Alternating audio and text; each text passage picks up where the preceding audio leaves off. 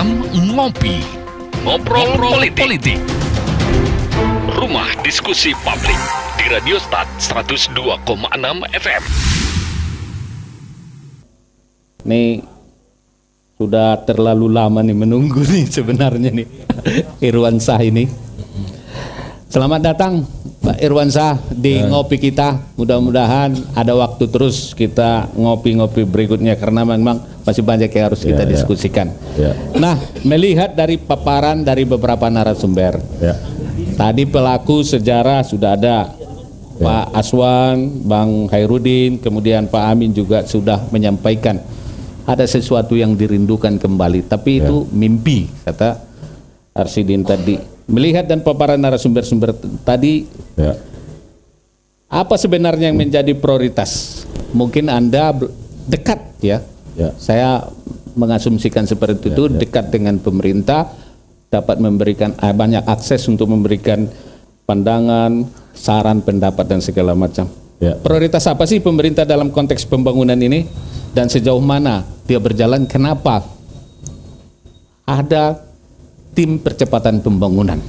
Anda juga mungkin bagian dari gagasan itu. Ya, ya. Ya, silakan. Oke, terima kasih. Eh Kru Star FM Start, ya. ya, oke. Mhm. Dan juga senior-senior saya yang ada politisi, ada birokrasi, ada aktivis pemuda, ya, Ya. mantan-mantan aktivis mahasiswa. Ya. Dan saya melihat kita yang hadir di sini adalah pelaku sejarah Iya. ya, 20 tahun Mandailing Natal. Ya. Saya sedikit evaluasi, sedikit eh, melihat ke belakang. Perjalanan Madinah 20 tahun sejak dimekarkan 9 Maret 1999 ya. Iya. Tujuan pemekaran ya sama-sama kita pahami. Mendekatkan urusan rakyat ya, terhadap pemerintah. Yang kedua, fungsi negara itu apa? Fungsi pemimpin itu apa? Ya bagaimana meningkatkan kesejahteraan rakyat. Kita evaluasi bagaimana kepemimpinan Pak Amrudolai. Saya dua kali dipenjarakan Pak Amrudolai, Ini juga fakta ya? fakta. Eh, Saya salut sama beliau. ya. Saya salut sama beliau. Kebetulan pada saat itu kalau Bang Sobek di politisi, Bang Aswan di birokrasi, Bang Amin Daulay belajar jadi politisi, saya dengan Adinda Arsidin, ada Anas juga, Aktivis. ah, masih aktivis mahasiswa. Generasi berikutnya ada di sini Adinda Tan Gojali gitu kan, Ya. Bang Pasla sendiri di politisi Iya. dan Bang Dahlan Oh, ini pers, ya. jurnalis sejati dia. jurnalis sejati. Kita adalah pelaku-pelaku sejarah. Saya bilang tadi, saya salut dengan Pak Amru Dolai. 10 tahun kepemimpinan beliau, walaupun saya dua kali dipenjarakan. Salut saya sama beliau. Apa yang ada hari ini masih peninggalan Pak Amru. Pak Amru memang melihat Mandailing Natal ini sangat fundamentalis. Sangat fundamental. Dia susun kebutuhan-kebutuhan dasar. Dia sangat paham dengan manajemen. Manajemen sebenarnya kan sangat-sangat dasar. Manajemen itu unsurnya ada empat, POAK. Planning, organizing, actuating, controlling. Planning. Pak Amru di masa kepemimpinannya merencanakan seperti apa ke depan. Dia susun perencanaan.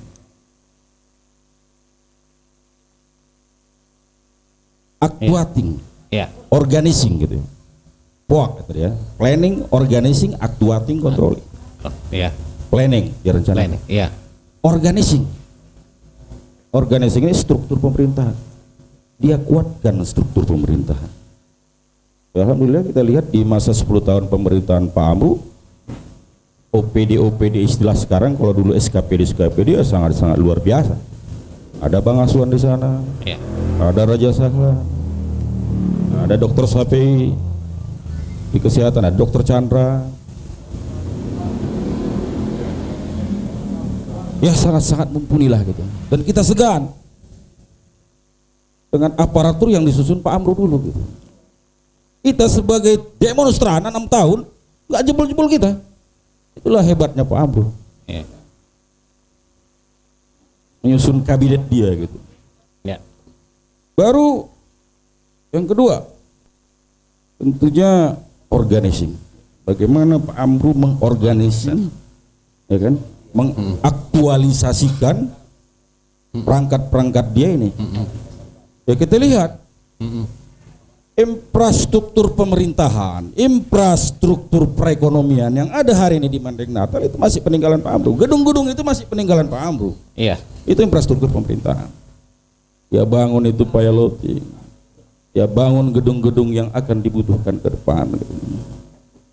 Ya tentunya itulah kelihayan dia menggerakkan orang-orang. Itu Pak Amru ini orangnya sangat aspiratif. Dia tidak biarkan itu pemberontak di luar. Dia berupaya merangkul gitu. Ini kehebatan Pak Amru. Masalah pemberontak itu mau dirangkul atau tidak itu nomor dua. Itu kehebatan Pak Ampun. Saya ya paling terakhir lah ya. Setelah pilkada kedua, beliau periode kedua, baru saya angkat bendera di penjara. Iya. Angkat bendera di penjara. Bendera putih ya. Bendera putih. Ya. Ya memang secara politik harus kita akui.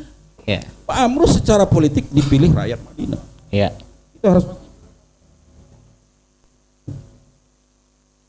Ah, jadi seperti saya sampaikan, 10 tahun pemerintahan Pak Amru yang ada hari ini 10 tahun terakhir itu masih peninggalan Pak Amru. Gak bisa kita pungkiri. Iya. Walaupun hari ini saya dekat dengan Bupati Mading Natal. Gak bisa kita pungkiri, saya fakta-fakta aja. Karena saya orangnya independen. Walaupun saya dekat hari dengan Bupati, dengan pemerintahan Mading Natal, saya bicara fakta. Independen dan merdeka begitu ya. Iya. Oke. Itu faktanya gitu. Jadi apa yang ada hari ini? Dia bangun itu struktur pemerintahan kuat, dia bangun itu infrastruktur pemerintahan kuat, dia bangun itu infrastruktur perekonomian, dia bangun itu ekonomi kerakyatan. Ekonomi kerakyatan plasma PT Penampat itu Ya. Pak Amru karyanya. Oke. PT Sagunauli itu akhir-akhir karya Pak Amru. Plasma PT Anugerah Langkama, Langkat Makmur itu karya Pak Amru.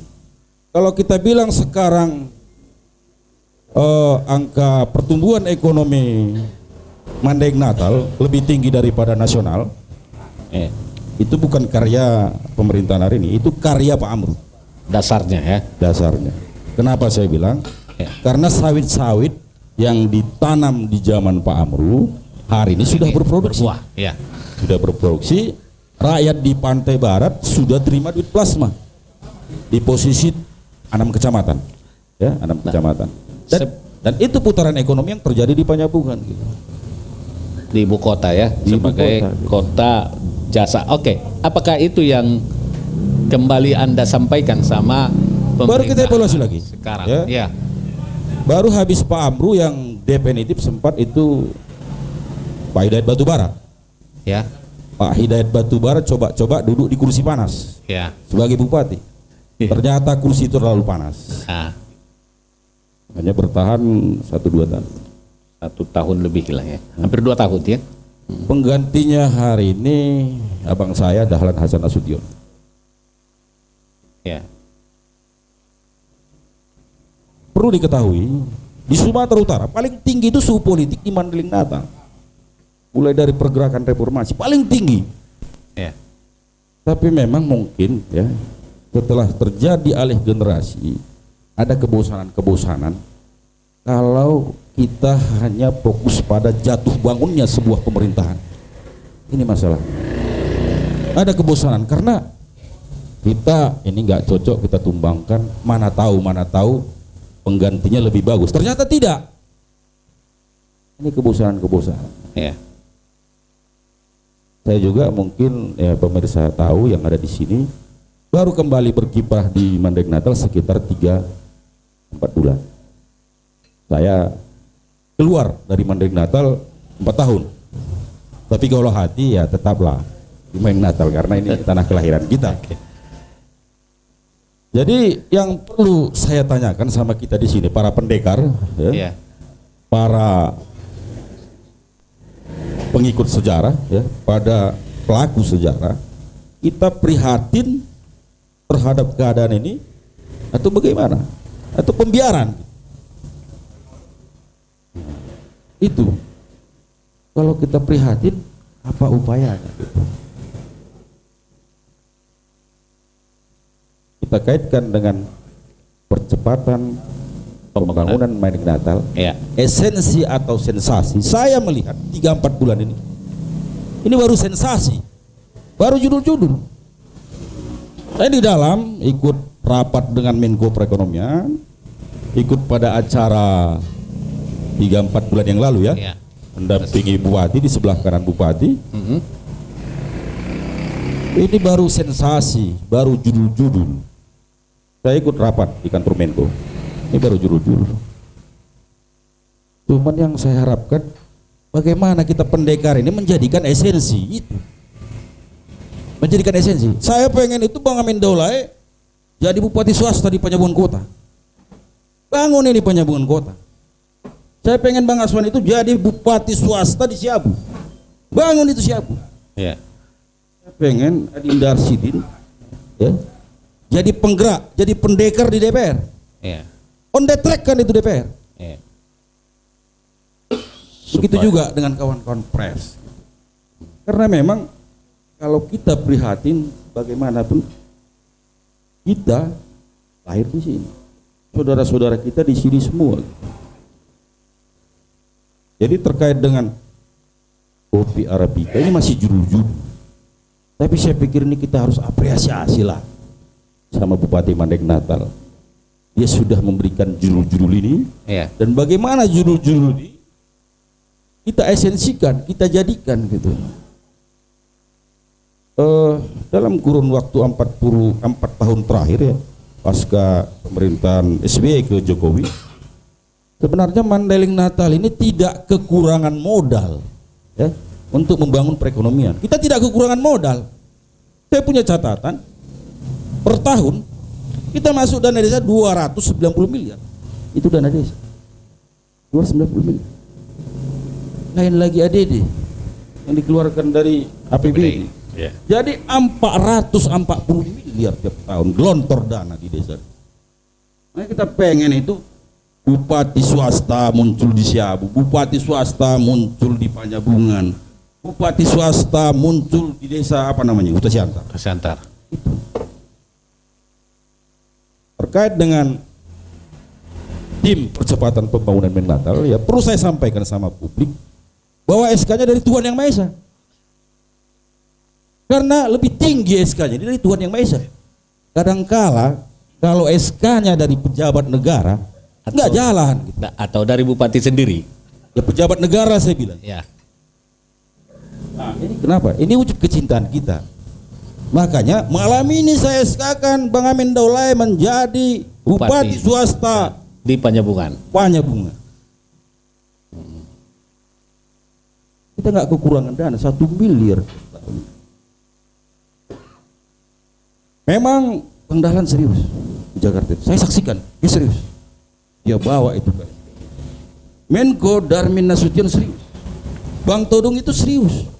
Tapi bagaimana keseriusan mereka kita respon apa yang bisa kita buat?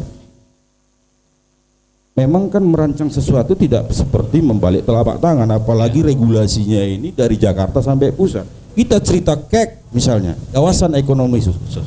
Nah, syukur kita yang ada judul gitu, berani kita menciptakan itu karena ada Menko, karena di Sumatera Utara baru satu dan jadi. Syukur kita ada jalan gitu. Tapi bagaimana kita mewujudkan ini? Bandara, ya kan? Bagaimana kita lakukan percepatan dua tahun? Misalnya komoditi unggulan. Kita harus sadari ya, sama-sama kita sadari. Selama ini komoditi kita, kita bertahan di CPO, Ya, bertahan di TBS, bertahan di karet. Karet. Ya. Ini nggak bisa kita pertahankan. Saya alumni USU ya, agribisnis. Ini nggak bisa kita pertahankan. Harga karet kita tidak akan pernah terdongkrak. Iya. Buka di Google. Jatuhnya harga karet dunia karena minyak mentah dunia jatuh. Minyak mentah dunia jatuh, karet sintetis lebih murah. Negara-negara konsumen terhadap karet, Karet. Hmm. lebih enak ngambil karet sintetis. Kenapa harga minyak mentah dunia jatuh? Karena teroris Amerika menguasai ladang-ladang minyak di Timur Tengah. Sehingga OPEC tidak berdaya mempertahankan harga. Ini susah. Gimana kita mau melawan Amerika? CPO. Ini CPO dari 1.800 hanya sekitar 800 perak. Kalau karet 22.000 menjadi 7.000. Hancur. CPO. Peminum minyak goreng terbesar di dunia itu RRC. Karena penduduknya 1,5 miliar. RRC hari ini tanam sawit seluas-luasnya di Afrika. Karena tanah Afrika sekarang paling luas tersedia untuk ditanam. Tanam. Ini Ya. hati-hati kita. Besok itu sawit mereka tumbuh nggak dibelinya lagi di CPO kita. Jatuh lagi. Nah, makanya upaya pemerintah pusat memproduk turunan B berapa namanya? BB 100 ya. BB100, Nah, macam-macam ya. lah itu. Ya. Orang ilmuwan lah itu yang membahas itu kan gitu. Ya, kita dengan adanya otonomi daerah. Sebenarnya kalau kita sama-sama berdiri tegak menjadi pendekar-pendekar di desa kita masing-masing ayo kita gali apa ini komoditi unggulan ya. Komoditi unggulan yang mau kita jadikan ikon di Mandarin Natal gitu. ini yang perlu. Ya pemerintah daerah sudah memikirkan ya komoditi unggulan kita contohnya Arabica. Ya, memang dari sejarah kita punya sejarah bagus tentang Arabica baru di pasaran dunia hari ini memang Arabica ini lagi booming KP-KP tumbuh di mana-mana Arabica gitu. dan Arabica kita terkenal di pasar internasional ya aromanya sangat-sangat disenangi nah, ya. tapi produknya sangat terbatas. Untuk satu bulan aja baru 5 ton. Sementara satu kontainer kalau kita mau kirim ke Eropa 20 ton. Tidak tercukupi gitu. Oke, ini sudah oke nih pemerintah. Coba berwacana gitu kan. Nah, baru minyak asiri. Kemarin pada akhirnya memang Menko berangkat dengan stafnya ke Perancis. Menko siapa sekarang nih? Darmin Nasution. Berarti mantan lah ya, mantan ya saat Ya, ini. Oke, mantan Menko. ya. Dia coba memutus mata rantai, kita tidak melalui Singapura mau ke sana gitu. Cuman pada saat itu kita sampaikan sama Pak Bupati, Pak Bupati, tolong kalau bisa ikut. Terus bikin MOU berapa kuota. Karena nanti kita suruh orang tanam asiri, nggak jelas kuotanya. Jatuh harga gitu. Baru di daerah Sumatera Selatan ya demam di sana bertanam pisang, bertanam nanas, ya kan. Oke. Saya pikir memang ini komoditi-komoditi unggulan ya yang ke depan harus kita sauti. Cuman perlu ya.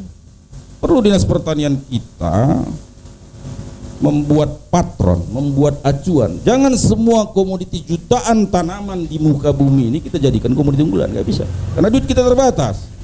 Ilmu pengetahuan kita terbatas. Pilih aja mungkin tiga komoditi. Ya kan? Tiga komoditi. Mungkin begitu. Saya, saya bilang tadi, saya di tim percepatan SK-nya dari Tuhan Yang Maha Esa. Dan alhamdulillah saya sampai hari ini terus melakukan koordinasi Ya. secara pribadi terhadap bupati, terhadap wakil bupati, ya.